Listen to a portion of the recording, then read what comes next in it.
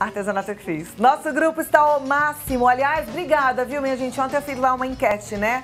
Porque a gente tem que se unir e esse grupo tem essa intenção. Eu perguntei lá o negócio se alguém já tinha recebido um convite para uma tal de feira aí no norte do país. Porque a gente tem que se unir também contra essas coisas erradas, contra a picareta que vem para tirar nossa paz, não é verdade? Então o grupo é para isso, é para postar sobre artesanato, é para tirar as dúvidas, é para falar de onde encontra um produto outro e para compartilhar as peças lindas que vocês criam.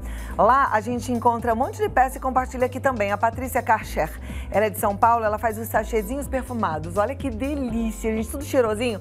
É uma lembrancinha maravilhosa, inclusive para maternidade, festinha de 15 anos, nascimento. Então você pode encomendar com a Patrícia. A Rosane Souza Souza, de Alvorada, no Rio Grande do Sul, ela faz essa decoração que é com jornal, você acredita? Olha que linda que tá essa boneca. Pois é, é de jornal.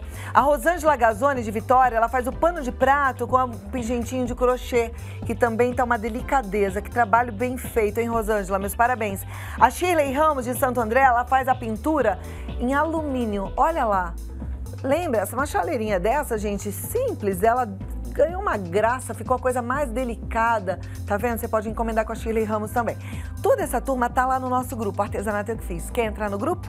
É esse aí, ó. Pede para entrar, a gente dá o aceite rapidinho, você faz parte dessa família que ama o artesanato, que se protege e se promove, né? Por que não? A gente tem que se cuidar e se promover.